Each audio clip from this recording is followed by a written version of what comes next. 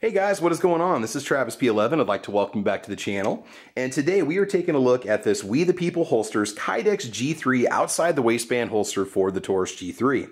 Um, I was in the market for an outside the waistband holster, and I did actually receive this as a Christmas present for my parents. And it's one of those things where I tend to um, open carry outside the waistband in the wintertime when I've got a heavy winter coat on, but I also have my concealed carry piece too. But it was time for another holster. Now, if you're looking for a holster online for the G3, you have many different options you can go with. Now, normally this lists for around $49.99, but they are up to $54.99. Now, as you can see, the uh, firearm is in fact unloaded. It does have a chamber flag in it, so it's safe for us to handle. When you get the holster in the mail, we'll talk about the features of the holster in just a little bit. It does come in this little reusable pouch, which is kind of handy. You can throw other stuff in there. Now, I've bought holsters from probably about a dozen different companies, and I have not been disappointed at all at what I've received. There's a receipt in there. Um, you do have a nice window sticker you can use. This is the kind of sticker that has to go through clear glass or maybe something you put on the back of your truck. Uh, but it is cool to send you a sticker anyway, which is kind of nice does have a lifetime guarantee against uh, manufacturing defects, although I've yet to actually break or wear a holster out for that matter. So real quick, let's just take you through the different features of the holster, what it offers, what it has, uh, how thick is the Kydex, you know, what's my take on it after having just countless holsters on the channel that we reviewed and that I personally own. All right, let's go and talk about those features and see what it has to offer. Okay, so as taken from the Amazon website, this is what we know. It does have a protective sweat guard, which basically covers the backside of the slide of the firearm. Sometimes it'll cover uh, part of the grip or the upper part of the frame, and that's this portion right here. It does have adjustable cant and ride, so cant is going to be the drawing angle, so you can you can move the screws around and uh, change. Well, you can change the placement of the bracket so that you have more of an aggressive angle or more of a neutral draw angle if you want it. The ride height's adjustable by moving up or moving down the bracket and just simply rescrewing the screws back in place. It looks like you have about an inch of ride height adjustability, which is definitely a bonus. It is a 0.08 thick Kydex. What I do like about it is that the edges have been gone over and smoothed out. The inside is nice and smooth. The outside has a fairly rough, durable texture. It feels like a sturdy Kydex. You do have adjustable retention right here. All you have to do is uh, occasionally put a screwdriver on the back and then turn the screw. Sometimes you can't just simply turn the screw and that'll increase the tension, which will keep the firearm more positively locked in the slide does have a nice channel cut out here, so if you've got larger sights or possibly suppressor height sights, you should be okay with that. And we'll put those, we'll put the pistol in there and take a look at that in a little bit. Uh, speaking of which, if you happen to have, say, a G3 Tactical or you've got a, um, a threaded barrel on your G3, the nice thing is that you have space for that on the bottom. Sometimes these holsters will taper down towards the bottom and you can't get your uh, protective end cap for your threads to stick out of the bottom of the holster. That's not going to be the situation here. On the back, it says that it does have reliable fixation, which I had showed you before. There's multiple different contact points on the back when you put this around your belt, which we'll show you in a little bit. It does have angled edges, which have more of an aggressive bite when you're wearing it. Again, the open end muzzle, adjustable retention, um, audible holstering. So, I mean, you should hear a click when the when the firearm goes into the holster, and it does it does have its positive retention made. Looks like they've got an aggressive kind of tab, and I haven't really seen this on other holsters before. Where you've got this uh, just literal square that's molded into it, and that's going to give it more of a depression. So, as soon as the finger guard goes over that tab, you're going to hear the click. So, we'll see if we can catch that when we holster the firearm.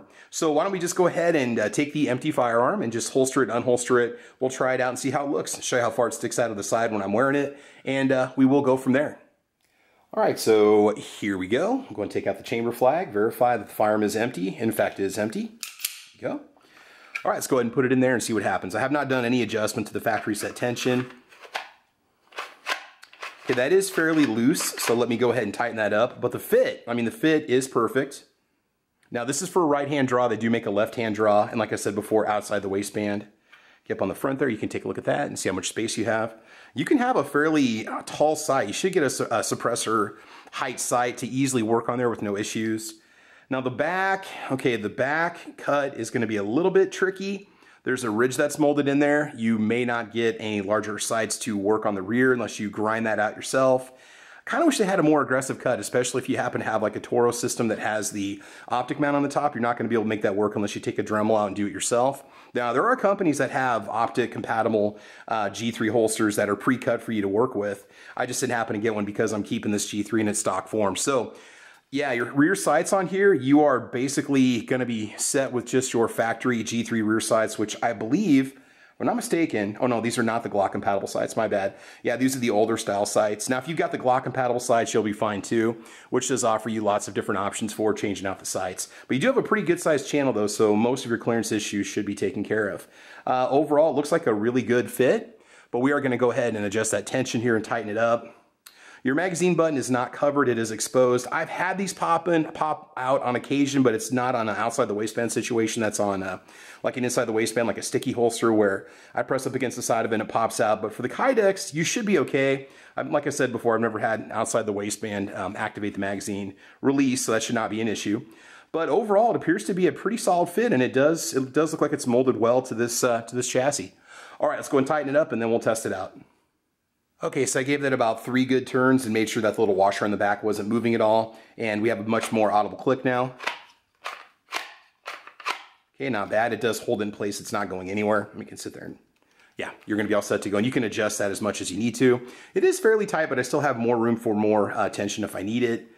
All right, let's go. Oh, and the other thing too that you mentioned is you do have uh, a fairly uh, heavy cut here on the side where the entire finger guard is going to be exposed. So you can get your entire hand around the gun to draw it. Sometimes these tend to ride down a little bit and can sometimes block one finger, but that's not the case on this particular holster. So that's a little bit different from other styles that I've seen that happen to go over the entire trigger guard. Now that's something you may or may not like, but it does not make this any less stable. It is locked into place. You don't have to worry about it falling out or anything like that, but that's a, maybe a little bit unique to the We the People design.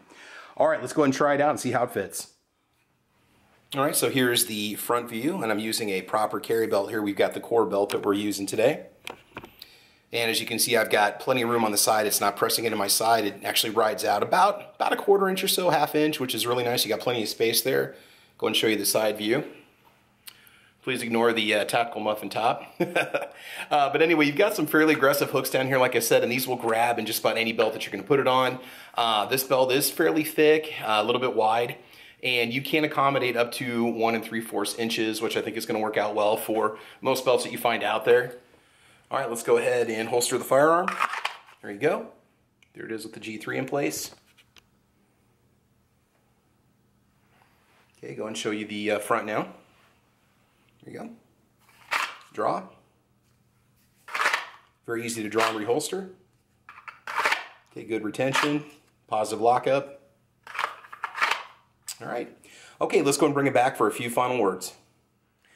So I looked it up again, and according to We the People holsters on their FAQ, you have a one year return for any reason return policy. So if you don't like it for any reason whatsoever, you can go ahead and contact them and do a return. You might have to pay return shipping, but uh, I'm going to go ahead and try and see how it works. Now, when it comes to holsters, please understand this is just my opinion. You know, getting a holster that fits you and works best for you and makes you most comfortable and confident, that's a very kind of personal decision, kind of like when you choose which firearm you want to carry.